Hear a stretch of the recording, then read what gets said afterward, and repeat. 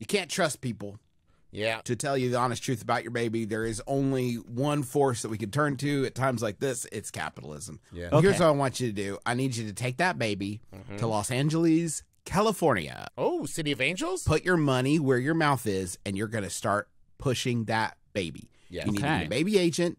I recommend Baby Joel Begley. Yeah. like a. He's just like our agent, but a baby.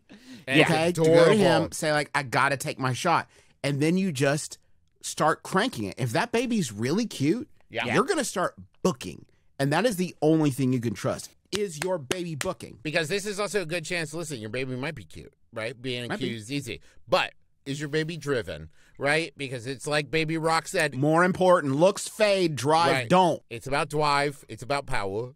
When you Yeah. feel hungry, yeah, for sure, for sure. we devour.